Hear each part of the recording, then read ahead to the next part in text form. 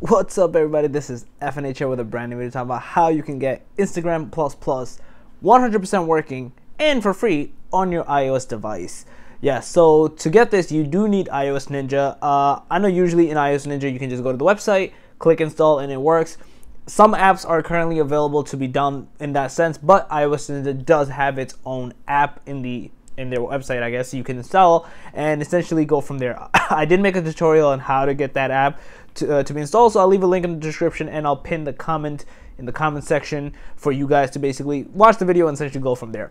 Uh, essentially to go into Instagram plus plus and just a few features of one happens. It literally tells you you can save photos to your videos and, uh, and videos to your device. Uh, you can switch between grid view and default list view, hide comments, open links inside Instagram, which is pretty cool, show captions while zooming an image, uh, share videos, photos, regram photos and videos, and view the full timestamp and post date and time.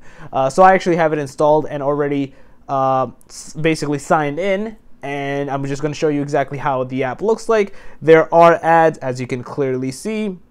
Uh, this one seems a little bugged out because of this, but it ends up getting fixed. So like it does bug out at points, but it does get fixed. As you can see, the, the view is different. Um, no idea who these people are. I probably follow them. As you can see, I can download the picture here. There's different size options. I can see, look at the options. I can select this image size I want to download. Um, I can zoom in as well. I think that was on. I think Instagram finally added some of these features, so a lot of them are like, oh, is it even worth it and whatnot. And as you can see, you can share with Plus Plus. You can download it. You can regram it. Again, there's all these different features that they do have. As you can see, this is mine. Uh, this is where all the follows and likes come from, and this is the popular page.